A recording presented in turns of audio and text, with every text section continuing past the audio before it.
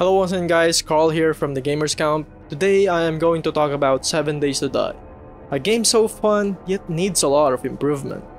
This will be my first impression of the game, so if you have not bought the game yet, I hope you learned something from this video and I hope it can help you decide whether to get it or not. So let's start the video. 7 Days to Die is a survival zombie game that was released as an early access title in December 2013. It is part of the huge surge of early access survival games that also came out in the same year, such as Rust, Don't Starve, and The Forest. Survival games as early access titles had started to become a trend in 2013 and it lasted for a couple of years. Most of the games I mentioned earlier have actually had their full release a few years ago. Unfortunately, that is not the case for 7 Days to Die. By the time this video is released, it is on its Alpha 19.6 version and based on my research, they launch big updates once a year, while incremental bug fixes of that update come occasionally. It means Alpha 20 may come in before the year ends, and I might make another follow-up video or article for it. I actually bought 7 Days to Die 7 years ago, and I only started playing it a few weeks ago because I didn't really like how the visual was when it first came out.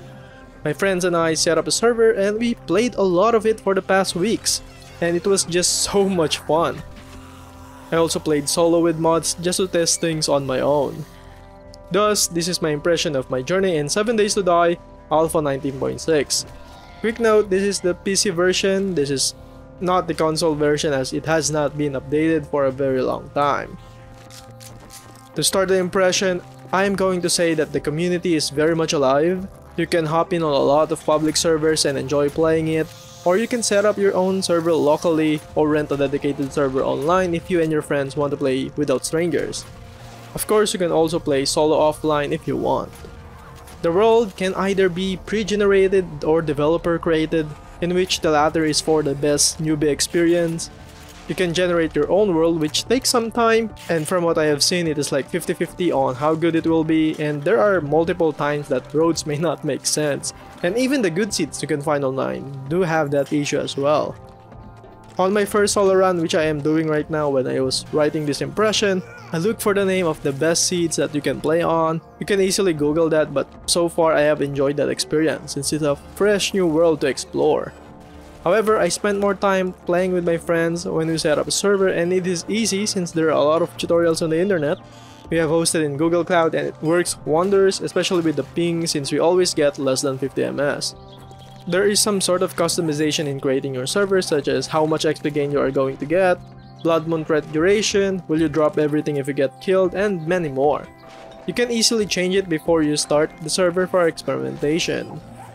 You can also customize your character which is surprisingly in-depth and you can create something that looks good or hideous, it is up to you. I enjoyed scaring my friends since my character looks like a zombie in the dark with his green skin and running in the dark can be scary. Once the world is created, you will spawn randomly in the world, most likely in the forest biome since this is the safest biome in the game. There will be a quick tutorial on how to craft the basic items and that's it. Everything you do here is all up to you, a true sandbox experience. The first few in-game weeks are probably the most exciting phase of 7 Days to Die. You explore the world as it is, you meet the first trader where you can do jobs for rewards and after doing a number of jobs, they will give you a special job to find another trader. In a sense, this is how they encourage you to check other biomes as there are other traders out there in your world as well.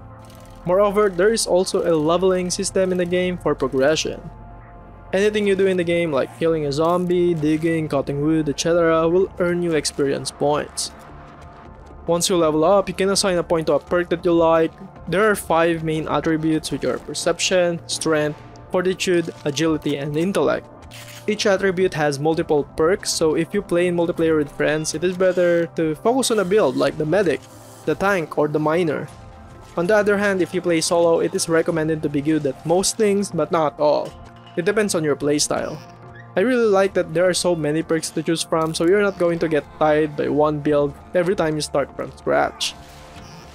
7 Days to Die utilizes a feature called Game Stage.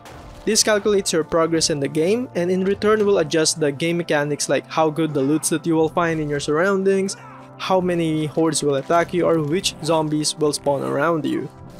I remember the first time I encountered a screamer and I was shocked to see it was running in daylight while screaming towards me. Sad to say, I screamed as well. The game stage also adjusts the Blood Moon Horde. Blood Moon is a significant threat in the game as it will spawn horde after horde in a span of hours in the game.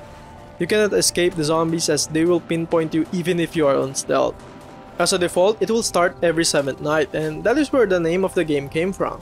And it gets harder and harder every 7 days to defend. This is a good game feature to test the players how well they can defend and if their loots are automated defenses can save them from the upcoming horde. You can disable it if you want the Walking Dead vibes but I recommend you keep it on, especially on your first run. When we played in our server, uh, we always look forward to fighting the horde that made the server so laggy by the 8th Blood Moon event and they eventually destroyed our base and we just kept dying. It was so sad yet so funny at the same time how they did it as well. Malayo sa base, malayo sa ano, malayo, malayo sa base sa ano, ko inaan.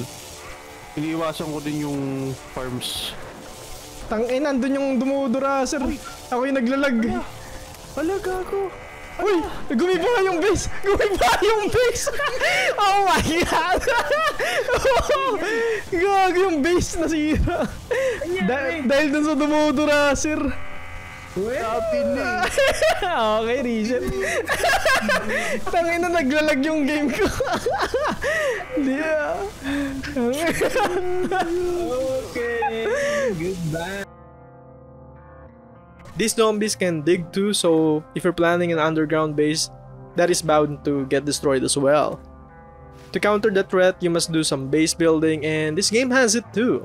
You can craft items that are for building like wood frames, cement, and many more. You can also upgrade them to be better and have more health. This forces you to do some mining and gathering up items before the invasion. Alternatively, you can buy these things from a trader as well, but that could be expensive. Surprisingly, you can even paint walls and even dye your weapons in the game. After the first 3 in-game weeks, I think you probably saw like 60% of the game as it is.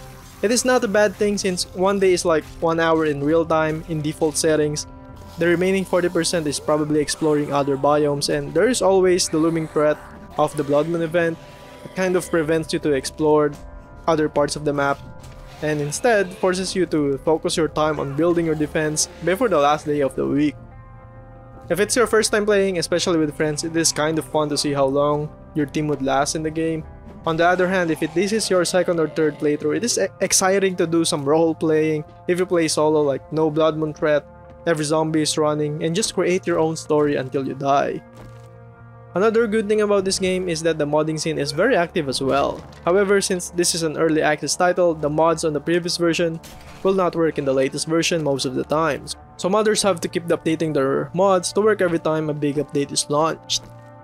I tried some lightweight mods like more spawn zombies in the vanilla version and it made the game much more exciting. There are full conversion mods that change the whole gameplay like Romero mod which makes 7 days to die, play like a Romero movie, that is fantastic and I will probably try that next time. So those are my impression of the game and now I would like to talk about what lacks about it and what needs to be improved. I guess the only major feature that lacks in this game is the AI and NPC, as they will make the world more alive in my opinion. Hostile, neutral, or friendly AI would make the single player experience much more fun. Imagine hiring mercenaries to help you defend your base during a Blood Moon event or a random bandit attack just to steal or destroy your stuff. There are mods that add NPCs in the current version of the game right now, but if it's implemented natively, it will be a game changer. The random world generation feature also needs some improvement.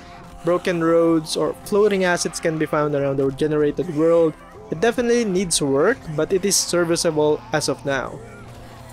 As for Navezgane, sorry if I butchered that pronunciation, I guess it needs more smaller towns between biomes, since I always found myself staring blankly at the barren road until I reach my next mission or the next raider. As for the lore in the game, there's almost nothing of sort regarding it. You can find some notes here and there but it is mostly just side quests. But it would be nice to have journals from previous house owners on how they survive and eventually succumb to the zombies The first time I played the game with my friends, uh, we coincidentally created our first base in the Grace Farm POI, and behold how surprised we were to find that there was a huge pig in the basement. The funniest thing was that when the first Blood Moon happened, we locked the tools to defend ourselves and eventually went down there anyway. Suffice to say, all of us died that night. Hitbox also needs to be improved, especially on multiplayer. It needs to be refined since there are so many times that attacks will not connect, which is annoying.